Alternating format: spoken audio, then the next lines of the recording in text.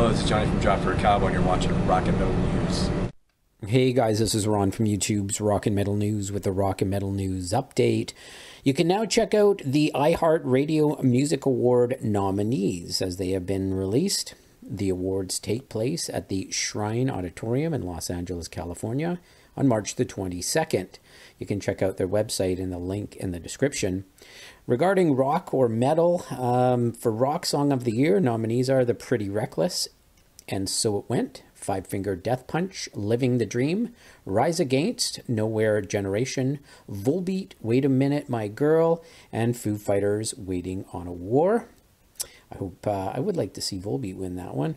Rock Artist of the Year is nominees are Chevelle, Five Finger Death Punch, Foo Fighters, Mammoth, Van, Wolfgang Van Halen, and The Pretty Reckless.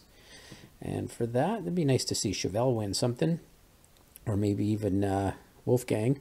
And Best New Rock Artist, the nominees are All Good Things, Architects, Ayron Jones, Mammoth, Wolfgang Van Halen, and Zero.